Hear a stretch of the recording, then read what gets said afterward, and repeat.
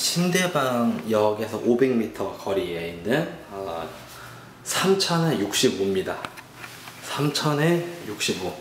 요거 이렇게 어, 옵션은 다 있고 되게 어, 3천에 65면 지금 이렇게 보면 되게 비싸 보이지만 지금 여기 보이는 게 어, 눈에 보이는 게 다가 아닙니다.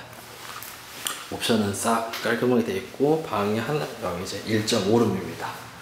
1.5룸 3천에 65. 보증금은 뭐 얼마까지 될지 는 모르겠어요. 보증금 위아래로 조절이 가능할지는 한번 물어봐야 될 것 같고 에어컨은 방에 있고 사실 어 1.5룸에 3천에 65면 좀 비싼 편인데 여기 방이 굉장히 넓네요.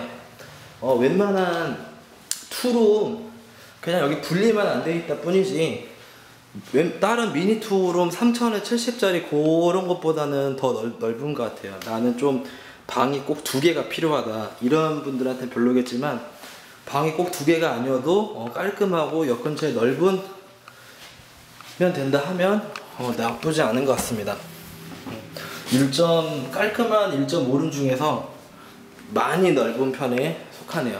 1.5룸 그러니까 요게 지금 딱 봐도 10평은 넘을 것 같고요. 10평은 확실히 10, 12평 정도는 돼 보이거든요. 12, 13평. 그래서 다른 1.5로 뭐 8평, 9평짜리보다 훨씬 넓기 때문에 어, 위치도 아주 좋고 7층입니다. 7층이고 엘리베이터가 있어요. 7층이고 엘리베이터가 있고 뻥 뚫려 있죠? 뻥 뚫려 있어서 어, 괜찮네요. 창문이 여기도 있고 주방 쪽에도 있고 이쪽에도 있고 여기 방에도 있고 해서 어, 가격만 듣고 아, 좀 1.5룸이 너무 비싸다 생각했는데 와 보니까 음, 방이 아주 넓네요. 여기도 어, 똑같이 뚫려 있고 괜찮습니다. 옵션 다 있고.